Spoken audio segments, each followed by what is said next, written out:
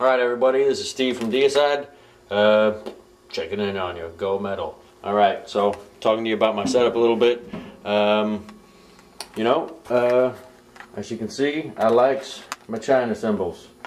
Um, I pretty much use them as crashes these days, but I do have some crashes in there also. Um, say, they're all pretty meaty.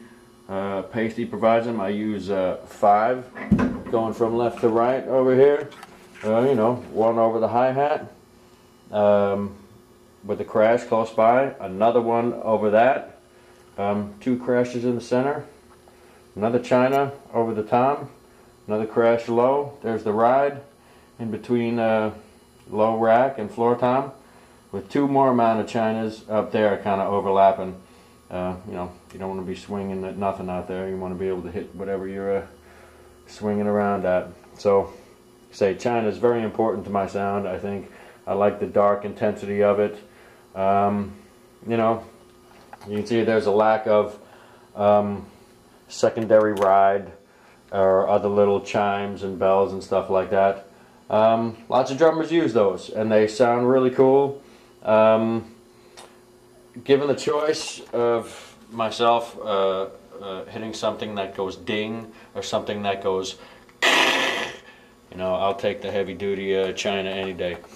Um, for my uh, tom setup, uh, I got I'm going with a 13 inch snare here these days. It's kind of a smaller uh, uh, circumference, obviously, but it uh, gives you me more room behind the kit, less knuckle bashing, and a tighter yet thick sound, not thin like a piccolo snare.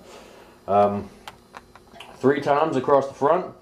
Um, you see my center tom is directly mounted above the uh, snare um, with a, uh, and that is a 12. Got a 10 and a 13 on either side. Um, kind of seems easy. It's a good flow of toms, you know. Um, everything's just kind of a stick away. And as you can see, as you go up, um, the, the crash cymbals are split uh, like an upside down triangle above the center tom.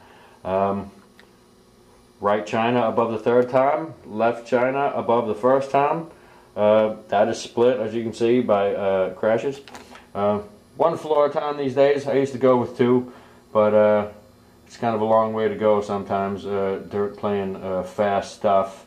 Um, so no no need to go all the way that far around and, and come back around. I felt, you know, it's just less to carry around.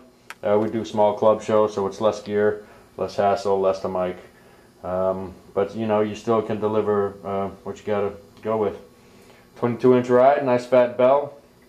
Um, you know, no complaints on that one.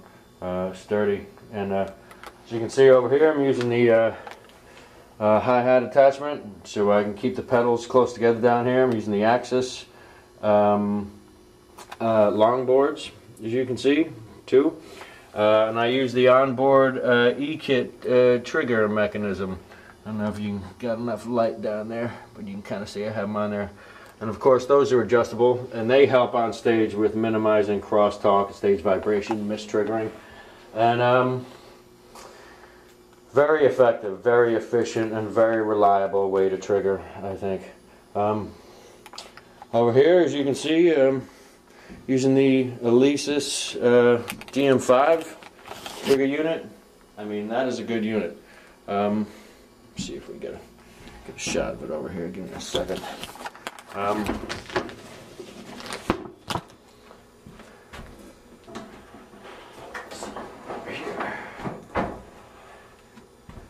uh, zoom in on that thing.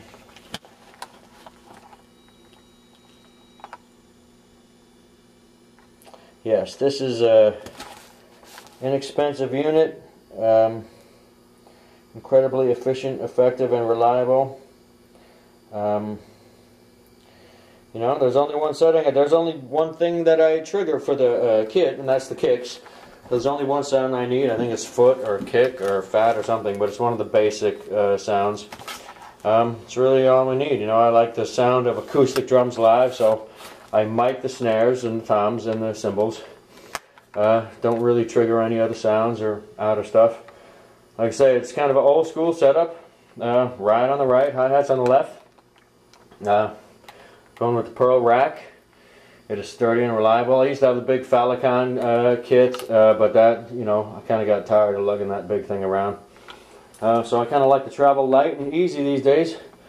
And, um, you know, that's the setup, kind of basic. Like I say, lots of cymbals, plenty of stuff to smash.